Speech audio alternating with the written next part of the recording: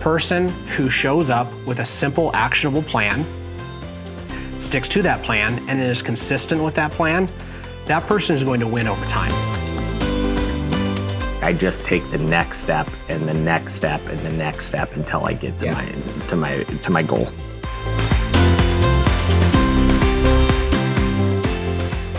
Welcome back, real estate agents, to the RMG Agent Podcast. I'm your host, Reed Moore, and I'm here to help impact, empower, and encourage you in your real estate career. And really excited that you're back with us. If you haven't gotten a chance to go back and listen to our last episode, stop collaborate and listen. We talk about listening skills and how important they are to your leadership and to your sales development. Also, if you haven't gone to our website, rmgagentpodcast.com, we have all kinds of great things there, including uh, the webinar that we just did, which is uh, all about how to navigate surviving and thriving in the upcoming coming changes inside of the real estate industry. And as usual, I have my awesome co-host with me here to help bring the goods, Jake Bartlett. Hey, Good to see you again, my Yeah, friend. You too. I'm excited to be here. And we uh, we filmed that last episode, Stop, Collaborate, and Listen. And it's a great one for anybody because uh, you are a leader to your clients as Right. well, and, and learning to be able to listen from them or agents that are working working for you. It's just a it's a great uh, episode. So I encourage you to go back and listen to that. We are going to be talking about uh, our episode this time was dealer's choice, right? Yes. We did we did questions and things from uh, from different sources, as well as we compiled some things from people that we lead, whether that's new agents up to you know you lead you lead teams across the country. So uh, uh, so we took habits and behaviors and external factors and internal factors, right? Yeah. So we're getting feedback from everybody and also just asking the question like, what do we constantly hear when we're coaching people, whether they're a new agent or seasoned agent or, or somebody who's leading in, in the real estate space? And when we were dialoguing about it, it seems like there's uh, some commonality. And the commonality is that a lot of times we get questions that have to do with external factors about the market or uh, um, different tools or different uh, different ways to to go about things, but when we dig deeper, right? So when you're coaching somebody, and you start trying to, to get below the surface and figure out what, what is the real question? What's the question behind the question? What we both have found is uh, is there are a lot of internal factors that are the foundation of success and accomplishment. And if those internal factors aren't uh, being taken care of appropriately, the external ones are just not the right question at the right time.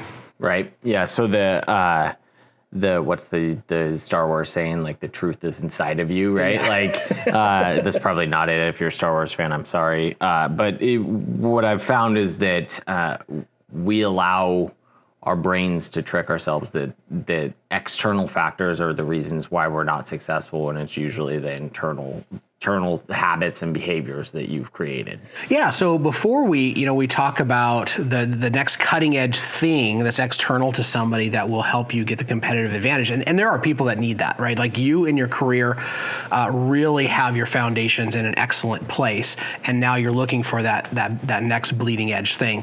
But we want to in this episode address the things that we see uh, at at all levels of accomplishment in our industry that continue to become either a, a problem or something that is a massive competitive advantage, right? And we think there's four, Yep. right?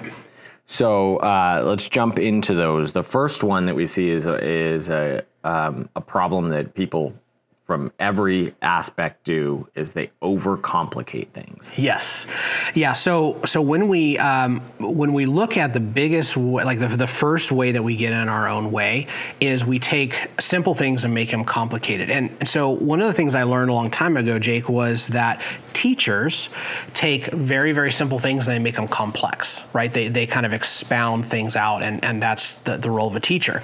And leaders take complex things and make them simple.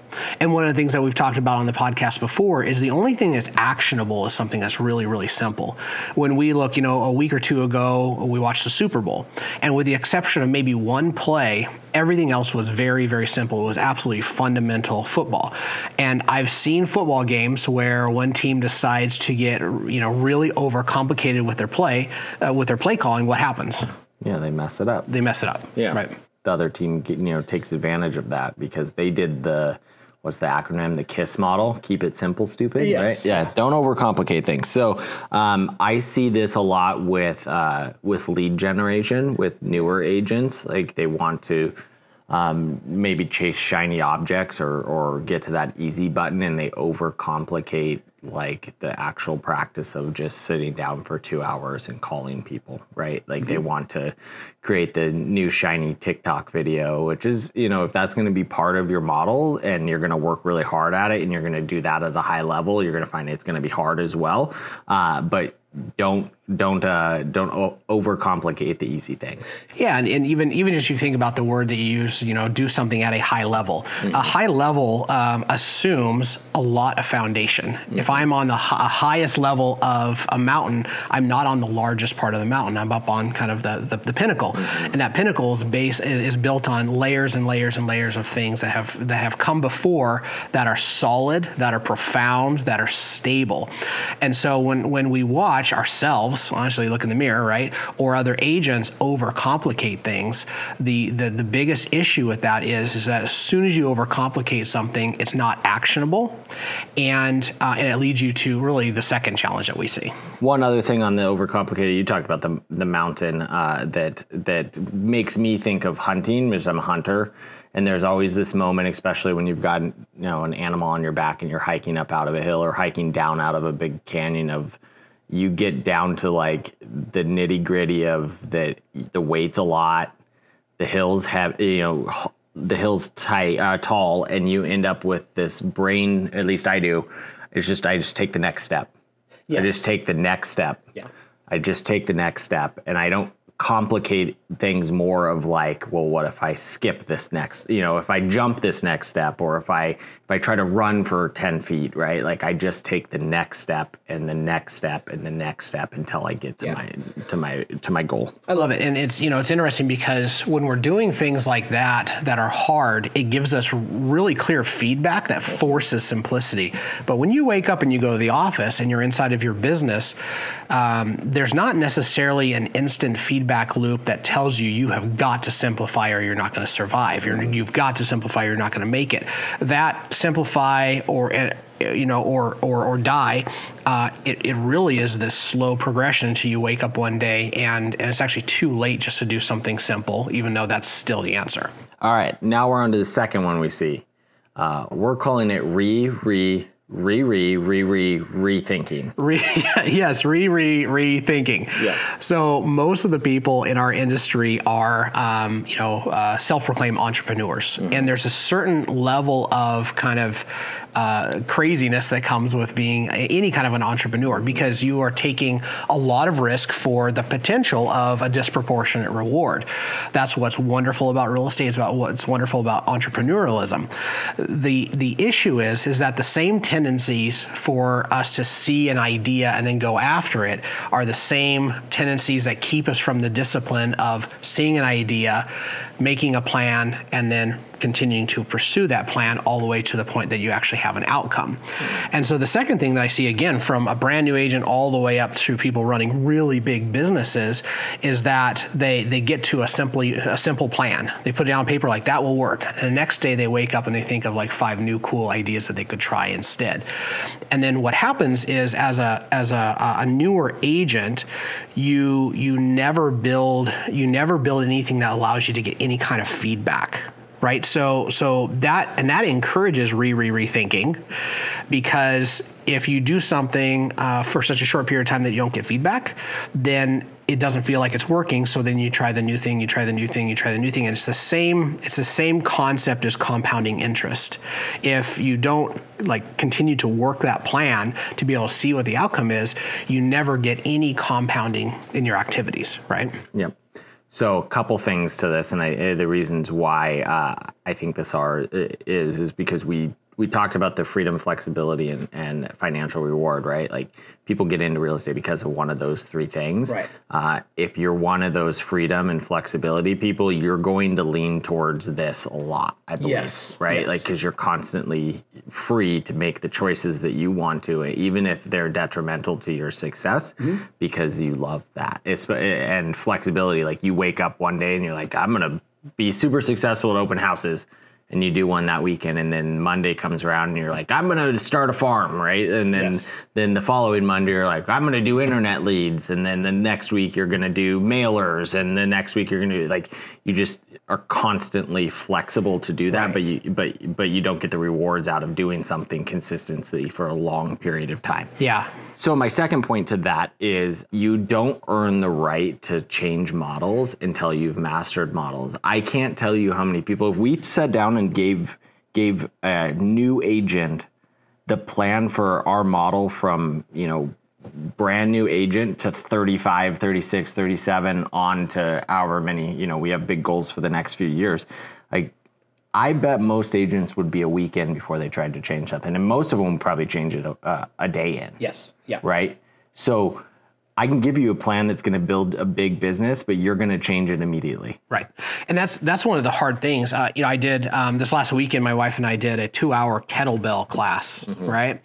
And uh, you know, it was kind of a more the, the group we were with was kind of intermediate.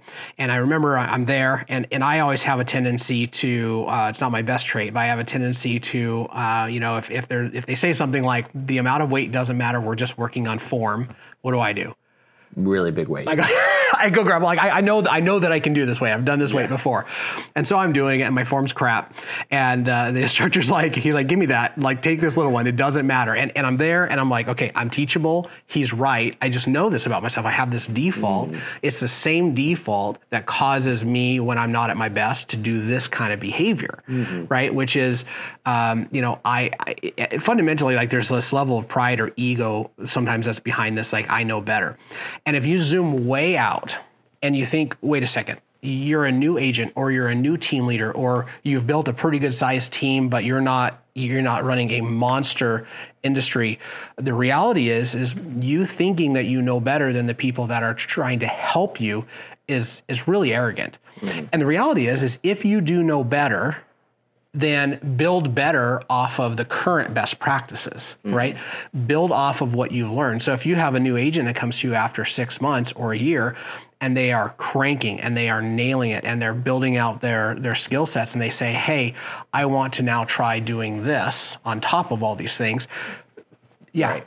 Let's, let's do it because you because you've been able to do it to the point that you're able to get feedback and now let's see if you can get feedback on this next thing because if if you build out all of those things you know leads us to our next point consistency if you build out consistently then then we get feedback that allows us to know in a short period of time whether or not this new thing is working Yeah. So the the struggle that we see people in this is the inconsistency aspect of Yes. things, right? So, um, and I see this a lot with agents that they'll do a, a couple different things. They'll either change every single month, mm-hmm. right? Like they'll readjust their plan that they just put out, or they will. The other cardinal sin of this is they will throw a whole bunch of things at the wall no way of tracking what metrics are and then they pick the one that they like is the one that gave them the success and then when they stop doing the other ones they don't know why the success came right like they're they're inconsistent in their tracking model of how they how they're getting success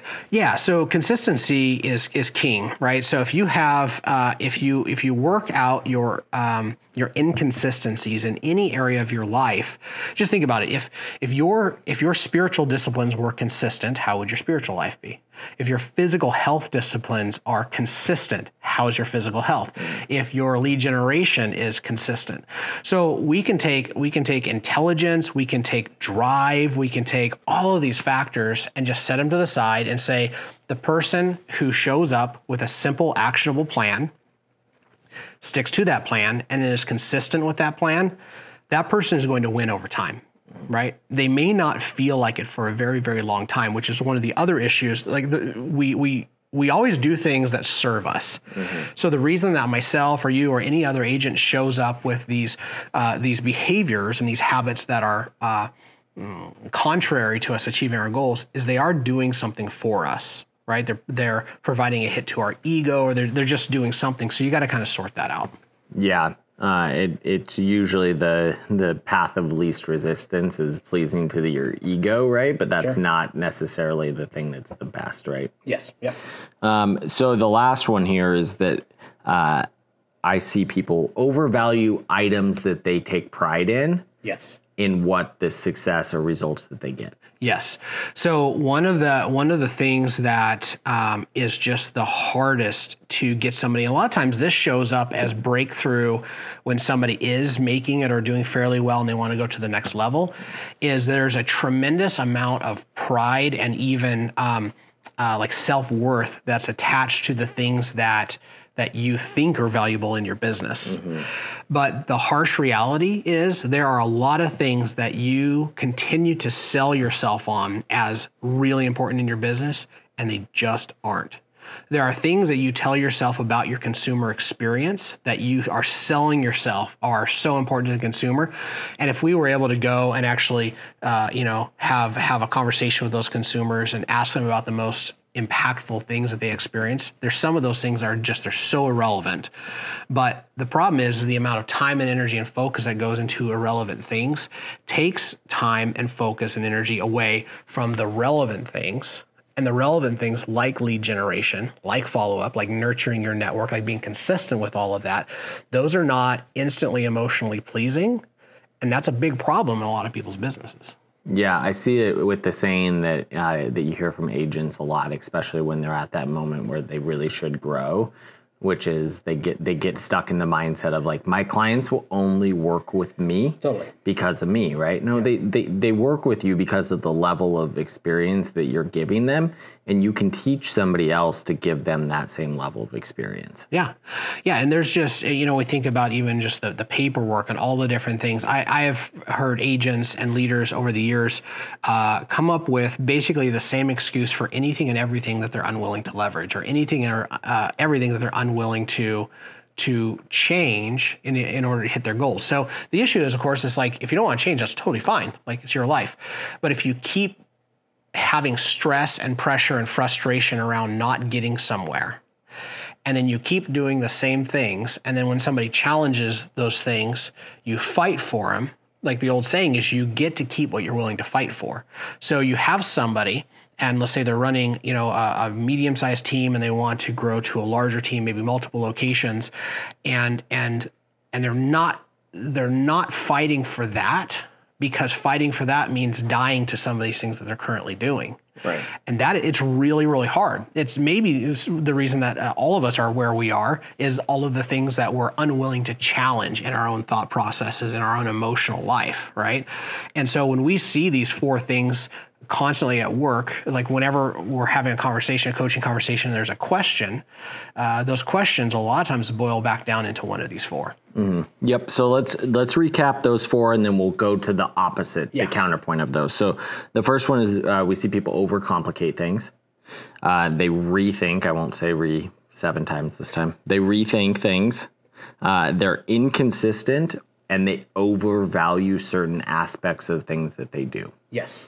So the counterpoint to overcomplicate is simple. Yes. Let's boil things down to a simple aspect. Yeah, so if you're a very intelligent person, which I'm not one of those those people, but if you're a really intelligent person, one of your biggest challenges can be that your accomplishment might be so simple that it feels like it's beneath you. Mm. Right? If you wake up early and you go to the office and you make a certain number of phone calls, that means you make $200,000 a year and it, there's actually really not much more to it than that. There's going to be a big internal like compelling to make it more than that. But the reality is, is if you stop and think and you spend a good amount of time, like go to our business planning webinar, build out a simple plan, and then just flat out follow that plan, look at it every day, and just do what you said you're going to do. That simplicity will will build unbelievable momentum, right? Yeah, you're just going to do the basic things over and over and over and over again. Uh, one of the things that when I uh, I just had a conversation with somebody and was talking to him about how you grow a team, right? And if you're boiling growing a team down to the simplest aspect, is you're just replicating the lead generation model with more agents, right? that's right. And so that would be s- a- an example of keeping something simple. Mm-hmm. Uh, the rethinking is trusting the plan. Yes. So so once once you have um, built a plan, or if you're a part of a company who has built a plan and you trust those leaders, right, to whatever extent, then now it's simply about trusting the plan.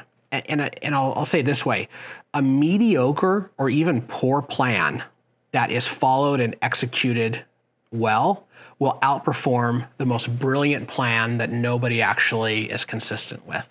So, so the, the focus on how perfect the plan is pretty irrelevant. Having all of the thought process that goes into planning, writing it down, and then just flat out like follow the bouncing ball. Mm-hmm. You know, you're not Usher, just just do karaoke. Like don't don't come up with your own rendition. Just if you're doing karaoke, just follow just follow the bouncing ball. Just Yep. do that. Right. Yep, you created that plan for a reason. Now follow it. Yes. Yep. Yes. Uh, inconsistency becomes be consistent. Be consistent, right? For me, this is my arch nemesis in every area of life. When I take on the challenge to become consistent, that area of my life thrives. If I'm consistent in my marriage, consistent in my parenting, consistent in my physical health, all of those things, like this is it for me. Uh, out of all of these things, I've done the other ones pretty well. Me being consistent or inconsistent, even the way that I show up in a conversation. If I can show up to a coaching conversation or a hard conversation, uh, consistently to where like with my kids they know that dad doesn't fly off the handle one day and is uh, disengaged the next day but i show up the same way that is unbelievably powerful so for me i put a ton of time and energy into consistency because i know how much better i am when i'm consistent Yep. This is one of the things, and we just recently implemented something in our office that's a, a new accountability measure. And when I'm talking with with people about it, it's like we have to hold people accountable. What's the most simple way that we can do that, and such a way that we can do it forever? yeah Right. That that's consistent. Like it's not something we're going to do for three weeks and then hope that it's the plan stays the same. Like I intend to do this plan consistently forever. Yes. Yeah. Yeah. If you think of all the things uh, that we take for granted that we trust, right? We trust them because they're consistent. You know, we trust we trust a Starbucks maybe with our coffee because every single time it's the same. I trust that you know if I fly Alaska Airlines, I trust that the consistency of being able to go from point A to point B without dying is is you know uh, a rounding error to 100 percent. And, unless you're on the plane that the door goes uh, flying yeah, off. yeah. But yeah. and nobody died. Yeah, so- nobody died. Yeah. Well, and it just you know, so just like all of those different things, I trust uh, in my truck when I push the button, the engine comes on, mm-hmm. right? And anything that's la- that's less than almost 100% consistent starts to create all of these problems in my life. Mm-hmm. Well, how do I show up for all the other people? I think the other aspect of this is we're talking on maybe a slight sidetrack of of uh, uh, something that happens through consistency is doing something without thinking, Yes. right? And and the level of, of freedom that you get by having to not think to do something is amazing. Yes. Right. Absolutely. Uh, and then the overvalue things becomes the 80-20 principle. Yeah, if you can get, it's, it's an old principle, it's an old uh, idea, but if you can look at all the things that you do in your business and you can ask yourself the question, what is the 20% that matters most? Okay, and now we take that question, we make it more narrow. What is the 20% that causes money to go into my bank account? Mm-hmm. Right? that 20% that matters most, and, and you have all these limiting beliefs. Well, I don't want to just, okay, time out. We're not talking about you made a commission. We're talking about over the course of a 20 or 30 year career, what were the things that caused money to constantly come in? You- You're not going to all of a sudden not take care of relationships because that is absolutely inside your 20% that matters. But there's a lot of things that you're going to have to challenge that don't lead to money now or money later. And the reason that we make money doing what we do is we offer a service to somebody. And so the 20% that matters most is what about my service causes people to want to come back and use it again. There's a lot of things that masquerade and parade like important, but if you could track the actual results that come back from those things, they end up being they, they show up as irrelevant. And the hard thing about this is the amount of money in any business will betray you right? If if if you look at how much money you make versus how much money somebody else in in the same industry makes over time, right? What you'll find is one person because they have the same number of hours that you do or approximately the same, one person is choosing to not do a bunch of things that you are telling yourself are important. Right? Yeah. And then we have this ability to start telling ourselves all these limiting beliefs about why they got where they are and kind of demonize it. But, okay, so everybody is a person, everybody's a mixed bag of good and bad and all this other stuff, but fundamentally, they're beating you at the prioritization of what matters most. Yeah, the other the other word we've used some in this is specialized, right? Like Yeah. they specialize in these few things that are, and they become exceptional at those, Right. right? Yep. All right. So, a uh, couple things. This was an awesome episode. First off, I, I I caught myself listening in a couple things like, yeah, I'm I'm struggling in that area here right yeah. now, so I gotta I gotta go back and make some adjustments. Uh, we did an epi- uh, a webinar, Yes, uh, and that's up on the website, right? it is. Yep. So you can see the webinar, uh, which was entitled Uh, uh, come with me if you want to live. Yep. awesome. Uh, and that was kind of a, a, a take on what's happening within the real estate industry and launching some of the stuff that we've talked about on the on the podcast, but more Yeah. in depth with visuals and things like that. Yeah, and if you haven't had a chance to be on the webinar, um, it's just uh, it, we get beyond the normal talking points and we talk about some of the things that that are absolutely going to happen, not just the what ifs, and then what you can do to control what you can control. Yep. Perfect. Uh, and this concludes the end of season one. This is the end of season one. Yeah. So we are, uh, I think we did 23 episodes Yep. in season one. And so we're really excited to be able to come back and do season two. We're going to give it a couple weeks. We have some kind of new exciting things that we're going to throw in the mix. Uh, as always, our goal is just to provide massive value to you as a real estate professional to impact, empower, and encourage you to really to take your, your business to the next level, right? If this is what you do as a profession, then when you wake up tomorrow, you know, what can you do to get better? What can you do to be really proud of who you're becoming uh, in the gift that is real estate as an industry? So, as always, uh, this uh, hopefully has an impact, empowers, and encourages you. And yeah, thanks for tuning in to season one and check out season two when it drops. Yeah, we'll see you in a couple weeks in season two.